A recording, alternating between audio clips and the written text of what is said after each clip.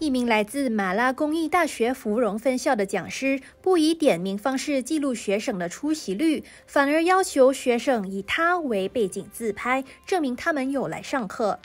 这名讲师的上课签到方式实在是创意十足讲师甚至还会比耶手势要求学生自拍签到时要拍到他。许多网友都被这有趣的一幕逗乐。